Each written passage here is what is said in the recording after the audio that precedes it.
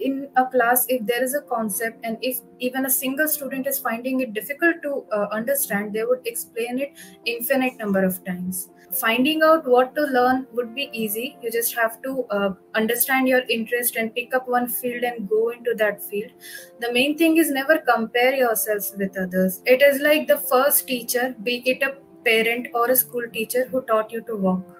That it would be for me because uh, till then i was kind of stagnant with my career i was just sitting there in the technology in which i was not very interested in but being in AccioJob, it taught me to move forward with my career into a field in which I was interested in.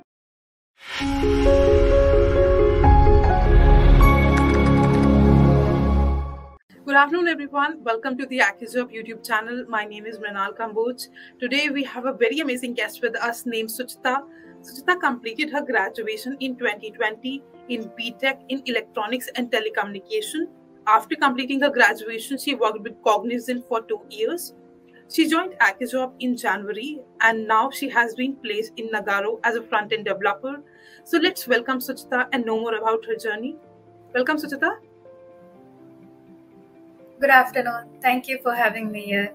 We are very happy to see you here. And first of all, congratulations on getting placed in Nagarro. Thank you so much. Right. So I'll start the interview by asking you can you tell us something about your background? Sure. So I come from Odisha, Sambalpur, Sambalpur district. Um, I did my BTech in Electronics and Telecommunication. I completed BTech in 2020 from VSSUT Burla. So actually, from my uh, college time, during the four years, I was a part of the robotic Society of the college. So mm-hmm. from that time, I had interest in coding and um, technical stuff. I used to learn Java, Python um, during college time, and then after that, uh, during placements, I was placed in uh, TCS, Infosys, and Cognizant and i was kind of in a dilemma which one to join.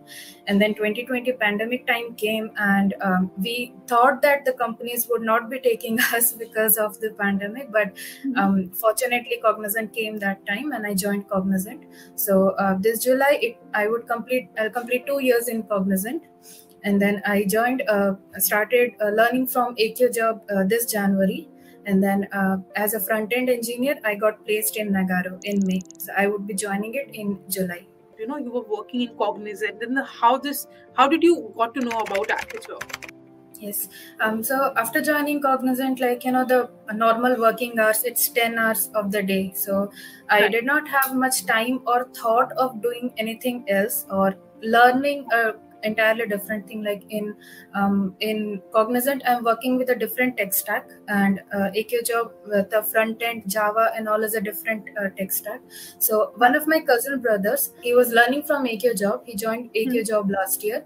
And from there he got placed in phenom uh, which is a very good company. And as a fresher he got placed there. And on his birthday he got placed and i called him and he he motivated me to you know again start learning and um, explore new fields, explore new tech stacks. And he told me that AccioJob is an amazing platform and he was able to learn everything right from scratch to the advanced level. So it helped him out a lot. And I should just give it a try. He just told me that take the demo sessions. If you don't like it, drop it, just take it. I took the demo sessions, gave the interview, and just went into it. So, Suchitra, I want to ask you now, how did you find the placement process of AccioJob like? So, uh, first, uh, the process started with uh, learning uh, DSA. When we were completed with DSA from basic to advanced level, after that only companies started uh, coming. You know, we were uh, notified of the placements opportunities and companies and all. And then after that, I was not very good with DSA, you can say. Uh, so I could not get anything that time. And then after that, front end started. And after front end, I got really interested and involved in front end. And I felt that this is the field I want to further my career in. And after the front end, the companies which came, they they were demanding for front end engineers. And then right. I, after completing the front end, I applied as a front end developer. Got it. And you got placed in Nagarro. Yes, correct.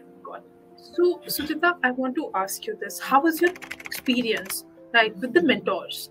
Mine was a situation like it, it was not the first time that I was studying DSA. I had attempted DSA around a year back, but I was really not able to understand stuff and grab the concept so i just dropped it and then i started html css could not understand the concepts dropped it and then when i started AccioJob they really taught us in such a good manner like in a class if there is a concept and if even a single student is finding it difficult to uh, understand they would explain it infinite number of times.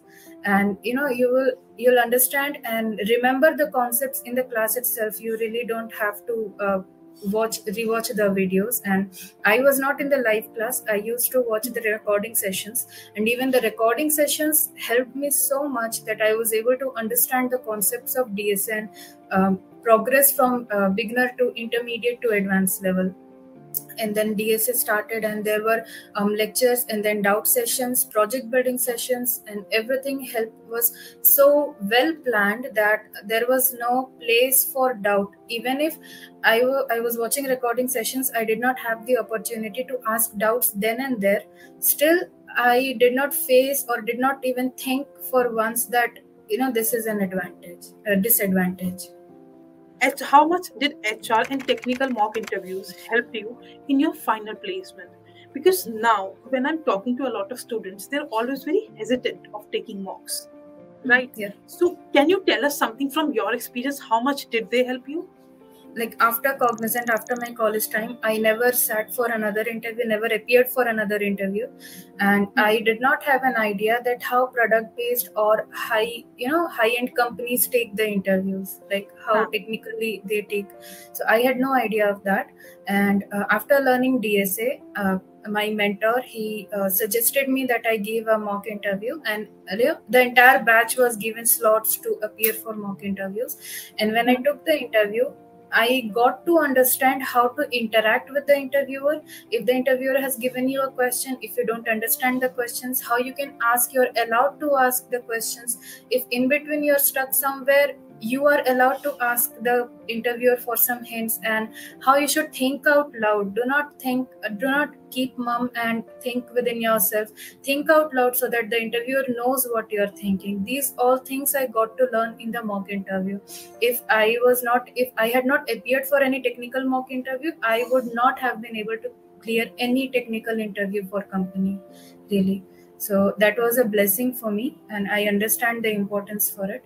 And regarding the HR interview, I I have a okay communication skill but i did not have the knowledge of how to answer interview questions uh, in a proper way hr questions. Right. and because since i already had an experience of two years with the company so i was uh, asked questions like why do you want to change your company? Why do you want to change your field? Like previously in cognizant i, wor- I worked with another tech stack altogether. Right. so those questions how to answer them properly how to present yourself to the interviewer so that they think that you are the proper um, candidate they want. So that all stuff uh, HR technique uh, mock HR interview helped me with that. The interviewer, mock HR interviewer, he helped me out everything like chart out how to uh, introduce myself to the interviewer, how to present right. myself to the interviewer, how to answer each and every question, each diplomatic question, um, something where the interviewer want to trap you, everything. So they really helped me out, and it was a blessing that the day when I had technical uh, HR interview with Nagarro, just a day before I had HR mock interview with AccioJob. And if that was not there, I would not be here in Nagarro right now. Please go for mock interviews. Do not be hesitant. Um, like these are mock interviews uh, you know these are not the real ones. So even if you're making some mistakes so the interviewers your mentors will uh, fix that. So it's yeah. good if you have an beforehand experience uh, than sitting in a real interview and making those mistakes. Yeah. Can you give us like details about your selection process at nagarro yes sure so uh, first round was um, you can say kind of written round. Um, there were DSA questions in JavaScript, three DSA questions of JavaScript, and then uh, quantitative aptitude questions, English questions. So first round was this, and then after I cleared this round, there were two technical rounds. Um, okay. So in the technical rounds, they asked me all the basics right from html css bootstrap javascript react redux everything. They really did not leave any technology of front end. Okay. and then um, in the second uh, after this first one this first was to just you know understand how much uh, the the how much the other person is strong with the basics of the technology. And then in the second one um, the second one was kind of a practical one. They asked me to make a react application from scratch. And then they asked some advanced questions on html css javascript and react. And after i cleared that one um, there was the uh, hr round. The general hr questions. Why you are changing the company? Why you want to change your technology? What interested you in the new technology? Like this Sujata, you know, coming from a non-tech background, you, you were an electronics and telecommunication engineer, right? Not someone who has studied IT earlier, was an IT engineer earlier. How? Because we get we are so we have so many students who are coming from non-tech fields. They're always very scared or skeptic about the fact that can they get into these fields? Can they crack a tech job? So, what would you like to tell those students? It is like we started learning abc right? No one had the knowledge of abc when we were small. We started learning it and we learned it and right now we're using it without even thinking about it. So it's the same way. Why do we have to think that we are from a non-it background and this is an it stuff? Why do we even need to think about that? This is something which we know that it will help us in our career. It is required for our career. Just go for it. Don't let an it or non-it be a barrier for the background. It's really very very easy and the mentors teach the things in such a good manner like right from a b c to z and they'll explain it and repeat it as many times as you want. So yeah. why fear that you won't be able to understand the stuff? Now you were somebody who was working earlier right? And as well as at the same time you were studying with us at Accio there are so many people who are coming from these uh, you know who are already working professionals right? So what would you like to tell them? How to manage their time? How to do job as well as study? Um, so it first of all it depends on the shift uh, the in the shift they are working like for my shift it was from around 11 11:30 am till 9 9:30 10 pm and that's why i was never able to attend the live classes i always used right. to go through the recordings so i used to wake up at morning around 5 5:30 and then study that time for around an hour and two and then go about my day and during right. the work time um, if i have even uh, an hour or two you know in between where i am not doing company work then i would revise something or uh, rewatch a, a video lecture uh, if huh. a point is where if a concept is difficult and i want to you know uh, recap it then i would do that. And that way i just proceeded. Right. Okay. So you know before we end this interview i have just two questions for you one is there are students coming in in tech field all the time right? They want to make their career in tech. And tech is in general is a very booming field right? What advice do you want to give to the upcoming students? How they should study what they should take care of? Uh, study is like um, finding out what to study is easy there are there is so much resources on the internet. There are so much institutions. Accio job would be one of my favorites because it helped me crack my career. So uh, finding out what to learn would be easy. You just have to uh, understand your interest and pick up one field and go into that field. The main thing is never compare yourselves with others. Like if i am cracking an interview with 8.5 then there is a person who cracked it with 6.5 there is a person who cracked it with 48 lpa there is a person who cracked it with 1 crore. So understand that everyone has their own journey with their own pace. So if someone is getting more than you that shows you that there is a possibility of getting more. But don't compare yourselves with others.